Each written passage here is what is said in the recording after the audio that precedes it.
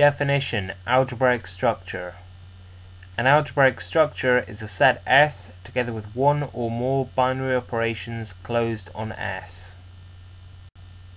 The set of the algebraic structure is called the underlying set. An algebraic structure is denoted like this. The set symbol of the underlying set is written first, with the binary operation symbols written afterwards. In example 1, we have the group of integers under addition.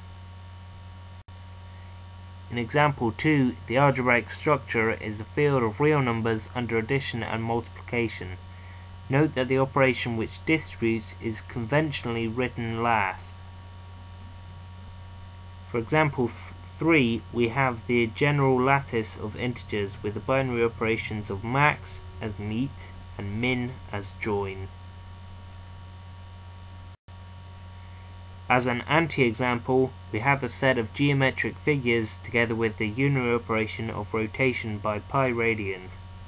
This fails to be an algebraic structure as the only operation is unary.